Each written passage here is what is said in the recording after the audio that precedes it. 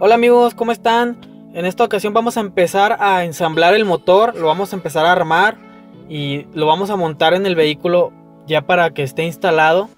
Eh, ya anteriormente pinté el bloque, subí el video de hecho de cómo pinté el bloque del motor, se pintó con pintura de alta temperatura. Y bueno, en este video vamos a ensamblar el motor, vamos a dejar el motor ya listo, lo vamos a montar en el auto y probablemente podamos encenderlo. Eh, espero que les guste el video y pues bueno, vamos a darle.